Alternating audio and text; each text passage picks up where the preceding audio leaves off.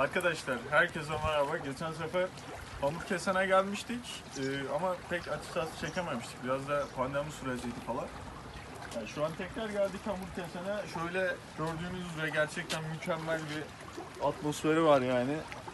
Şöyle çayımız falan şuradan şöyle akıyor. Yazın yazın şu, e, şu görmüş olduğunuz yerlere masa sandalye falan atıyorlar. Ee, çok da mükemmel bir etkisi var. Suyu zaten stresinizi alıyor. Şu suyun sesi gerçekten çok dinlendirici bir etkisi var. Artı şöyle mesela oturma alanları falan var burada da. Bayağı bir kapasiteye sahip. Yani biz de mükemmel bir gün yakaladık. Ee, şu an yani sizlere söylemek istediğim şey şu. Şimdi hamur kesene iki yol geliyor. Biri normal Tuzca'nın içerisinden geldiğiniz taraf, biri de Güllüce diğer tarafından, e, Güllüce yolu üzerinden geldiğiniz bir yol. O yolu sizlere hiç tavsiye etmiyorum açıkçası. Bu yol normal, bu yol normal çok güzel e, gidilebilir bir yol. Şu e, hamur kesen, hani Güllüce dediğim yolun o taraf gerçekten çok sıkıntılı bir yoldu. E, hani yolda kar falan yok şu an geldiğimizde ama e, aşırı derecede bir çamur falan vardı.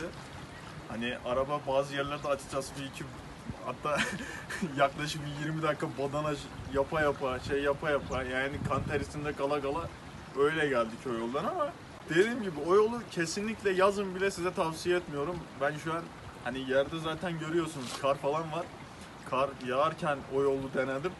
Yani kesinlikle tavsiye etmiyorum. O yolu yazın bile girilmez bunu da iddia ediyorum yani ama dediğim gibi normal yolu kullanarak buraya çok rahat bir şekilde gelebilirsiniz. O yolda hiçbir problem yok.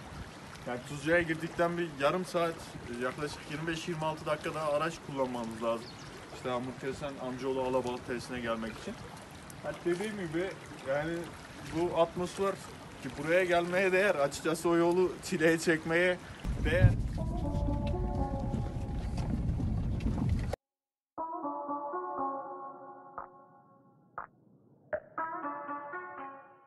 Bir tanesine yolda denk geldik dedi ki yol çok iyi dedi, güzel dedi. Bizi soktuğu yola şu an yani burası cennet gibi yol. Az önce biz nerelerden geçtik yani bir de yol çamur falandı. Aşırı derecede kötü ve berbat. İyi kötü valla araba da iyi dayandı. Yani var ya inanılmaz aksiyon dolu bir macera yaşadık şu an. Şu an şükür köye ulaştık. Araba gördüm. Sevin, seviniyorum şu an araba gördüğüme, ev gördüğüm. Yani arabaya bildiğin offroad arabasına çevirdik az önce. Suzcan'ın arkadaşlar hamur kesen eee alabalık tesisine bu sefer dağ yolundan, diğer yoldan gitmeyi tercih ettik. Diğer yoldan da gidince işte Şuradan sahaydı mı? Aynen. Yani buraya yazın da bambaşka güzel ol- oluyor. Masa sandalyesi işte. Biz de balığımızı söyledik şimdi. Balığı hazırlıyorlar. Hazırlayınca da çağıracaklar. İleride ufak bir şelalemiz var. İsterseniz oraya doğru devam edelim.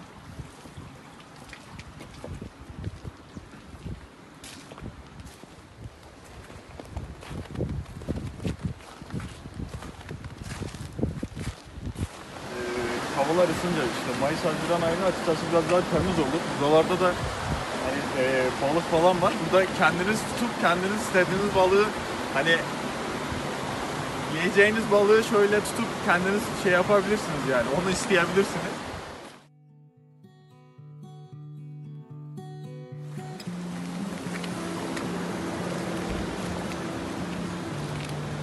Aynı zamanda şuradakiler de havuz yani. Or- Orada da balıklar falan var.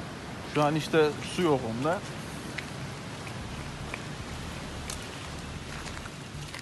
Dikkatli dikkatli gel yaklaş. Ha orada da öyle ufak mini bir şelale gibi bir şey var işte. Tekrar aynı şekilde burada da havuz var.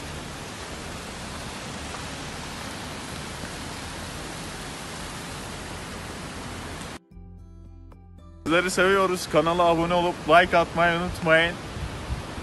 Görüşmek üzere.